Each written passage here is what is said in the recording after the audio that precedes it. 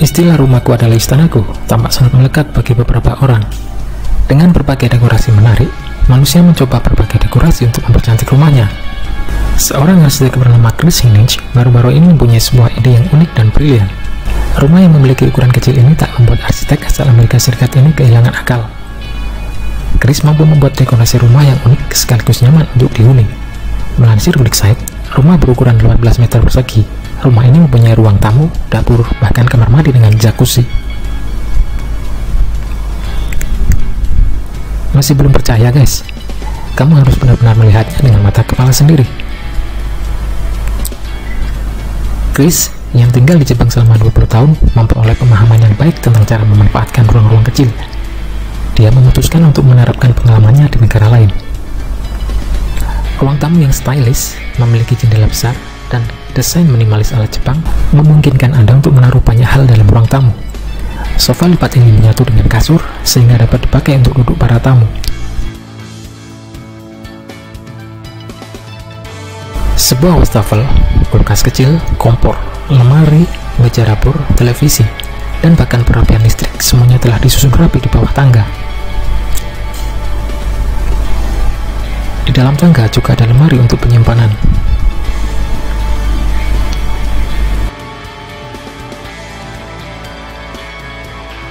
Dapur dilengkapi dengan banyak rak dan lemari. Pintu memungkinkan untuk mendapat banyak cahaya.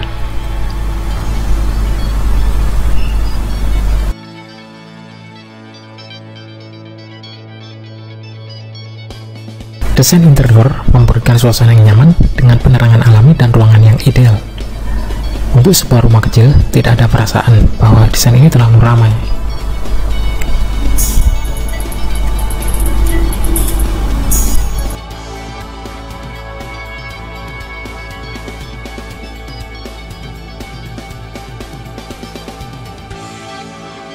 Di sebelah dapur, terdapat kamar mandi dengan jacuzzi. Di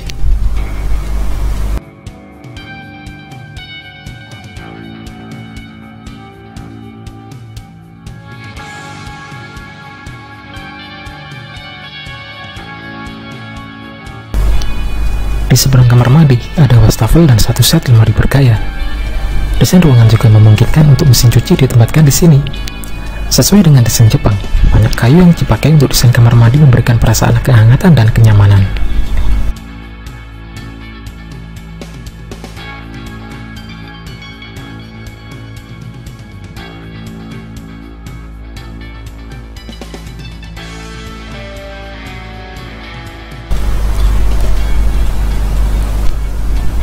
Lantai dua memiliki kamar tidur yang nyaman, dengan kasur dan ruang penyimpanan yang besar.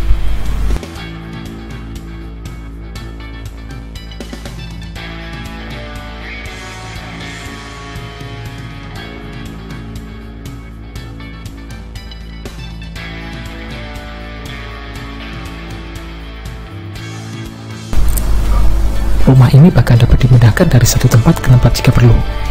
Atap dan bagian dari dinding dapat dengan mudah dibongkar, dan sisanya diangkut sebagai sebuah kesatuan.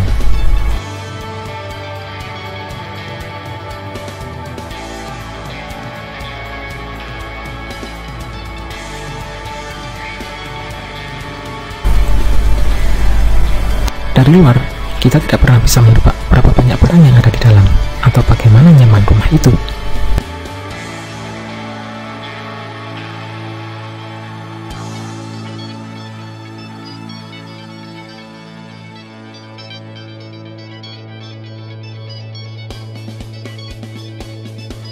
So, kemampuan Chris memang tak perlu dilakukan lagi kan?